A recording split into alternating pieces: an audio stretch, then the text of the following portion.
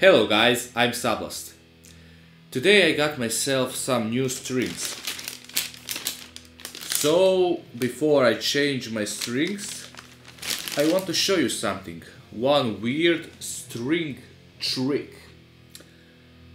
If your string gets broken and if you are broke.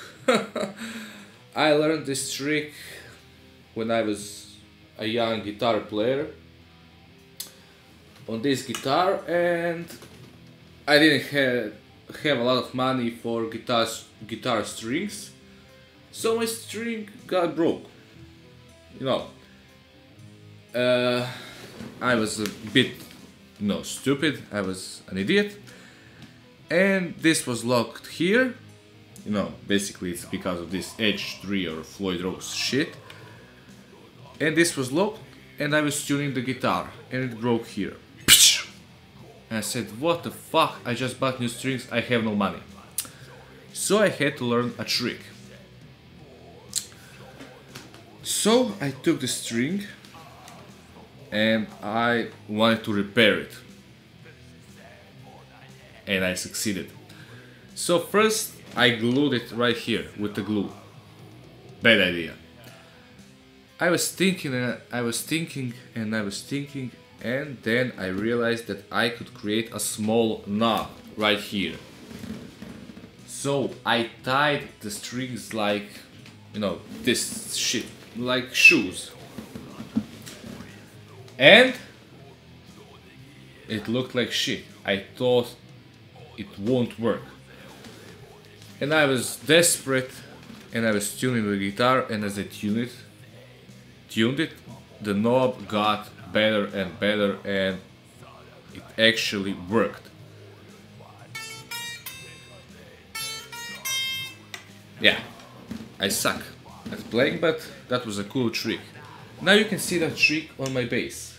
When people see it they say you're an idiot or they say you're a genius. I don't know what what will you say but it helped me from getting new strings which are kind of expensive for me because I'm broke. So as you can see right here, this is tied in a knob. Uh, to be honest, now I'm going to be honest how often you should change strings, we'll talk about it later. These bass strings are old for years. After one year of playing, it broke and I just tied it down and it holds for three years now. And it will hold even longer but today I got some new strings. Uh, there's no there's no effect on the sound. I, at least I think I could record with it. I can do whatever I don't care a lot about music quality but it holds pretty good, like other things.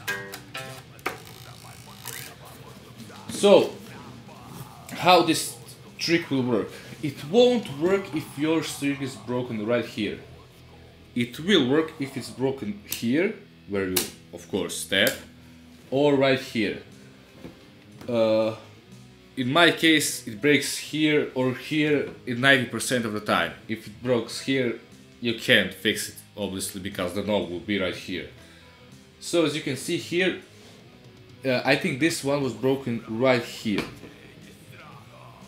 So I tied it down, no it was broken here. My bad, but sometimes it gets broke right here on my guitar, so I tied it down right here. And as you can see here, I didn't have the strings, uh, the string which was long enough, so I used another string, which is another trick. So, now when I share the trick I can change my strings. Let's talk about how often should you change strings. As you can see I got some cheap bass strings. I bought this one because these ones because it has fire on it and if it's if it has fire I'm sure there are some badass strings you know you just look at the fire who cares about the quality and I got myself some guitar strings, finally. On my guitar, strings are old about two years. And some picks.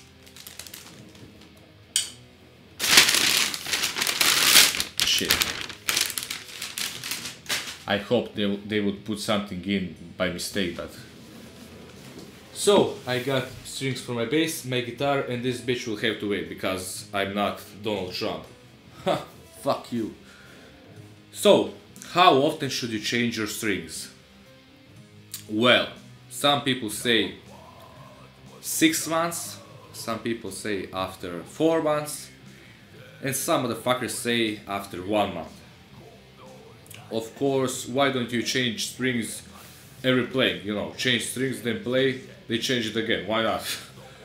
But does it affect your sound and your guitar if you change them even less for let's say you have your strings for few years.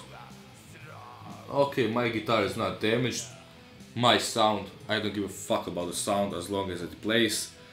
Some people say it will damage your guitar but use your logic. Your guitar can only be damaged from your skin from the remainings of your skin on your strings. And that can damage the guitar in my opinion only gets a bit on your fretboard which you can clean. And I don't see why would you clean your guitar. It's fucking stupid to clean your guitar. You're not a female. Uh, so uh, don't be a pussy and play those strings as long as they hold. Because guitar company I mean string companies will say get in to our company and change strings every month so we can get a lot of from you, you know? The thing is, I'm the living proof that you don't have to change your strings that much. I mean, my bass is not damaged, my guitar is not damaged, my strings are old and I'll just replace them now, clean my guitar a bit or I'll call a female to clean it and it will be as new. So, don't buy that shit. If you are recording, change the strings. If you're not recording, you're playing at home, you're fucking around, you don't have to change the strings, so don't buy the shit, don't waste your money, okay waste your money, but don't waste it that often as guitar companies, string companies will say that you should waste your money or invest your money.